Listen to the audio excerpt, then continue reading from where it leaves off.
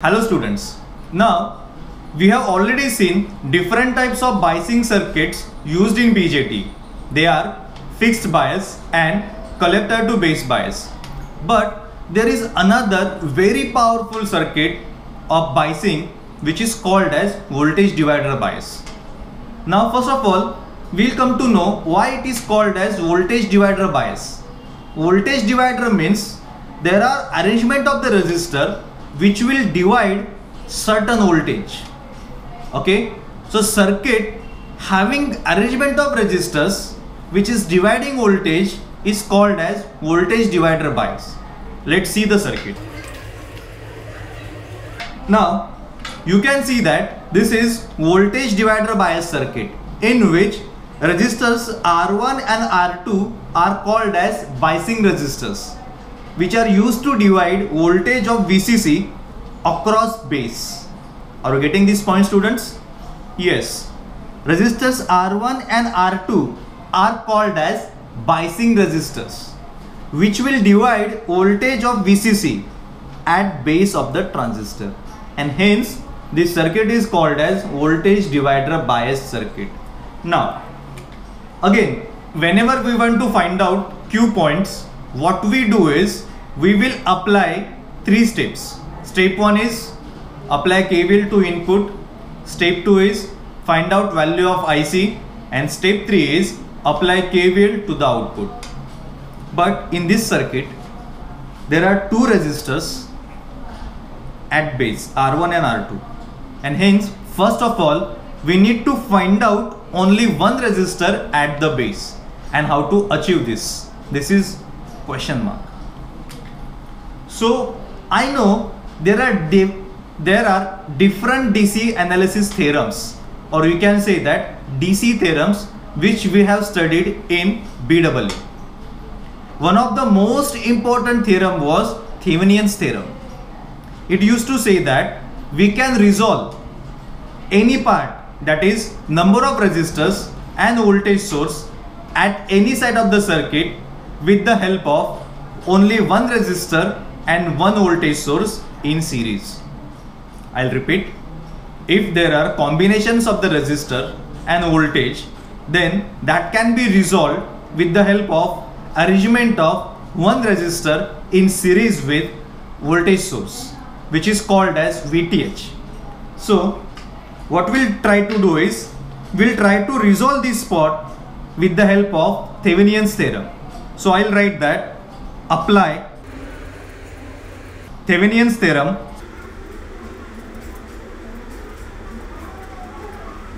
So in order to apply Thevenin's theorem or to find out VTH I'll write VTH is equal to now the VTH can be easily calculated as VCC multiplied by R2 divided by R1 plus R2 are you getting this point?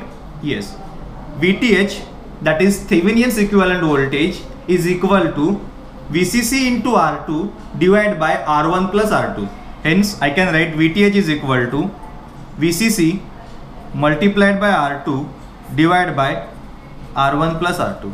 Similarly, Thevenin's equivalent resistance is equal to R1 parallel R2. So, by applying Thevenin's theorem, I have got VTH and RTH. Now the next task is to replace base side with the help of Thevenin's equivalent circuit. So I'll do that now. So Thevenin's equivalent circuit can be drawn as follows.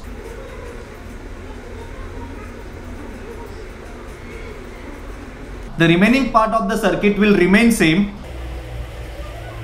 Only change will be at input side where we are replacing entire portion by a single resistor in series with voltage source.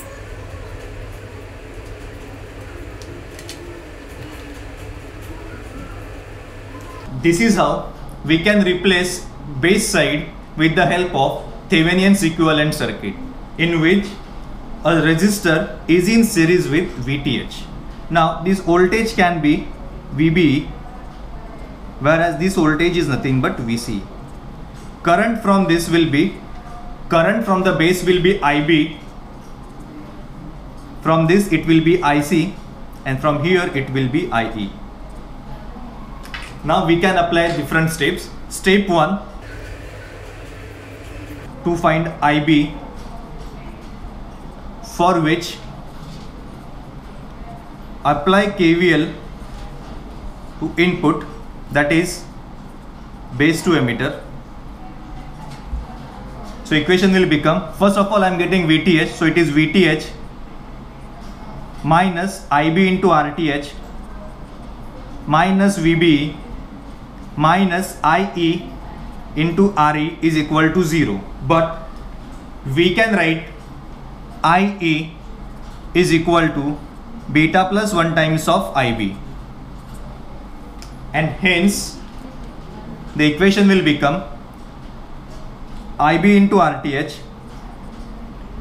plus beta plus 1 times of IB into RE is equal to VTH minus VBE and hence IB is equal to VTH minus VBE divided by RB plus beta plus 1 times of RE where this RB is nothing but Thevenin's equivalent circuit which we will mention in the bracket where RB is equal to RTH.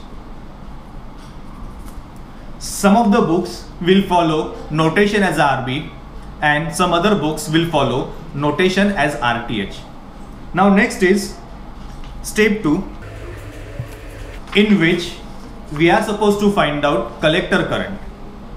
So step 2 is to find IC where IC is nothing but beta times of IB. And now step 3 is to find VC for which apply KVL to output loop.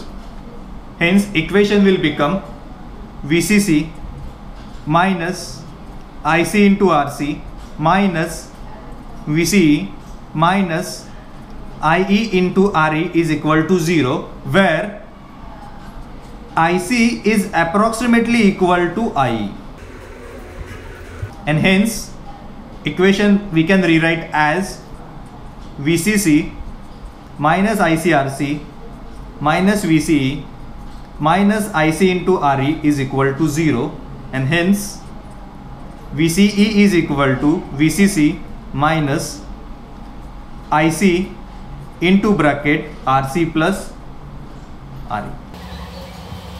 So by applying three steps, step 1, step 2 and step 3, we can easily find out Q point in voltage divider bias circuit. Thank you students.